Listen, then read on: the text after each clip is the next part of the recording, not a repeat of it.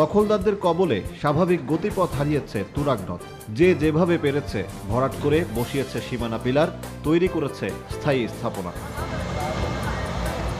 রাজধানীর চারপাশের নদীগুলো দখলমুক্ত অভিযানের অংশ হিসেবে বুধবার তুরাগ নদের মিরপুর আশুলিয়া বেড়িবাঁধ সংলগ্ন নিষাদনগর অংশে অভিযান চালায় বিআইডব্লিউটিএ।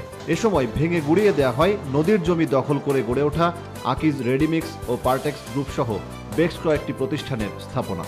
একাধিকবার সতর্ক করার পরও দখলমুক্ত না হওয়ায় তাৎক্ষণিকভাবে নিলামের মাধ্যমে দখলকৃত অংশের সমস্ত মালামাল বিক্রি করা হয়। দখল হওয়া নদীর জায়গা উদ্ধার না হওয়া পর্যন্ত অভিযান অব্যাহত রাখা হবে জানিয়ে দখলদারদের বিরুদ্ধে জিরো টলারেন্সের কথা বলছে বিআইডব্লিউটিএ কর্তৃপক্ষ। বিল্ডিং ভাঙা বা ভবন ভাঙা বা কোনো প্রতিষ্ঠান ভাঙা আমাদের উদ্দেশ্য না। আমাদের উদ্দেশ্যটা হলো ওই সমস্ত অবৈধ স্থাপনা যেটি নদীর জায়গা দখল করে আছে, সেইগুলোকে অপসারণ করে সেই অব মানে অবমুক্ত করে ওই জায়গাটুকু নদীকে ফিরিয়ে দেওয়া।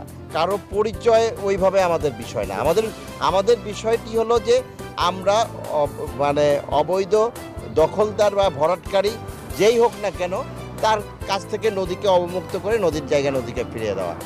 উদ্ধার হওয়া জায়গা ভবিষ্যতে যেন আবারও দখল না হয়, সেজন্য স্থায়ী সীমানা পিলার স্থাপন ও সার্বক্ষণিক নজরদারির কথাও জানানো হয়।